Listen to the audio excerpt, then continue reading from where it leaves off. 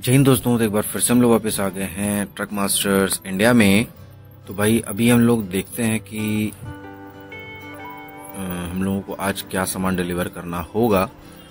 तो जल्दी से चलते हैं और देखते हैं। तो भाई, ये देखिए, आप देख पा रहे होंगे सेकेंड वाला जो है, ये सीमेंट है। और ये दालमार लिखा हुआ है डालमार सीमेंट सीमेंट से, जो कि ये दालमिया है। और ये जानी है हल्द्वानी से रुद्रपुर, डेढ़ सौ किलोमीटर का है। और देखते हैं भाई, चलते हैं जल्दी से। सीमेंट, अब देखिए सीमेंट है। तो बारिश से बचने के लिए इन लोगों ने त्रिपाल का यूज़ किया क्योंकि बर्फ़ भी गिर रही है और अब भाई, अब खुद सब सोच सकते हैं कि हल्द्वानी से रुद्रपुर जा रही है तो पहाड़ी एरिया है। और लगभग 127 किलोमीटर दिखा रहा है, लगभग वही 150 किलोमीटर है।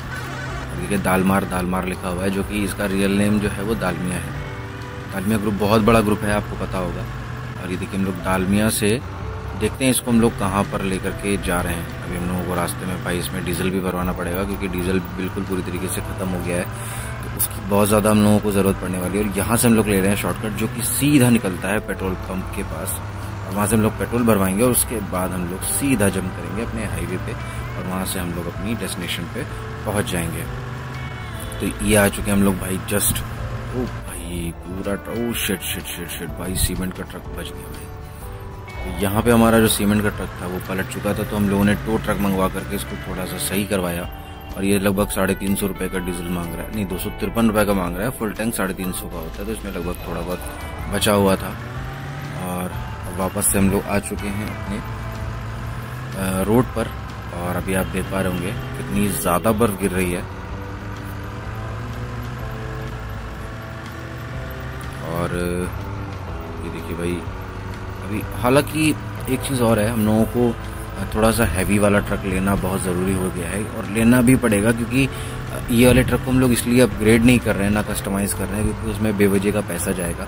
उतने में हम लोग एक अच्छा लेवल कंप्लीट करने के बाद अच्छा ट्रक ले लेंगे तो उससे हम लोगों की थोड़ी सी जो इनकम है वो अच्छी होने लगेगी। और हमारे लेवल्स जब ऊपर चले जाएँगे तो हम लोगों को जो रूट्स हैं वो भी ठीक ठाक मिल जाएँगे। तो हम लोग अगर एक दो टूर भी कर लेंगे तो उसमें हम लोग को इतना पैसा मिल जाएगा कि एक टूर करने पर हम लोग एक पूरी सिटी खोल लें और उसके बाद आराम से हम लोग उनकी जितनी भी परमिट्स हैं हर स्टेट का हम लोग ले सकते हैं, क्योंकि अब इसमें परमिट खरीदना पड़ता है।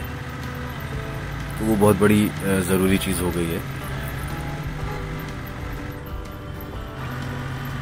और भाई देखिए कितनी स्पीड में हम लोग अपनी जो गाड़ी है वो चला रहे हैं ट्रक अपना। और लगभग सत्तर किलोमीटर बचा हुआ है तो बहुत ज़्यादा बचा हुआ नहीं है। और यहाँ से हम लोगों को एक आगे शॉर्टकट मिलेगा, वो आपको पता ही होगा। तो अभी आप खुद ही देखिएगा, हम लोग आ चुके हैं बिल्कुल सिटी के अंदर। और लगभग तीस किलोमीटर बचा हुआ है, और यहाँ से हम लोगों को लेना है राइट और ये हम लोग दालमिया से लेकर के आए हैं सीमेंट।